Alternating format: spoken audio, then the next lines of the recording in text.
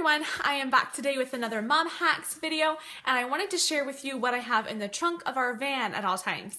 I keep a stroller back there, I keep a playpen back there, and I keep my boba, which is my baby carrier, back there. You never know when you'll need those things. A stroller, um, going into a store, you might need to use the stroller, just going for a walk, who knows? It's just always back there. So for one thing, if I just all of a sudden need it, then I can go, then I can just grab it out of the trunk. And also, it's another thing that I don't have to pack. If I'm going out for the day, I don't need to pack the stroller and the um, carrier and the playpen, those are already back there ready to go. So those are just really convenient to have in my trunk.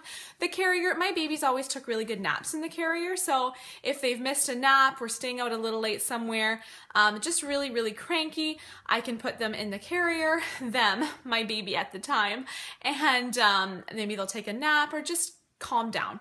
Also the playpen, if we're at a family's house, you never know if we're gonna stay a little bit later uh, than we'd anticipated and the baby needs a nap, we can take that out of the trunk and we have it. Uh, and so those are all very convenient and I love having those in my trunk. I just know they're there if I need them. I can, uh, anywhere, anytime I'm out, I can grab them.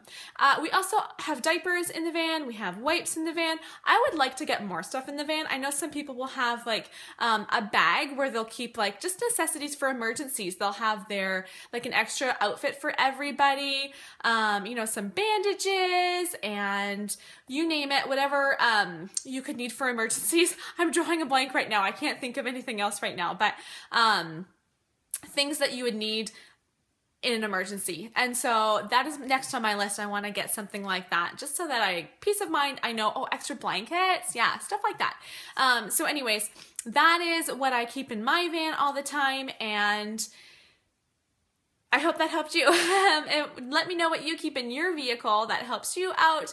And um, I will be back next Wednesday with another mom hack video. I also post videos on Mondays and Fridays. So thank you for watching this video. Subscribe to my channel if you're not already, and we'll see you next time.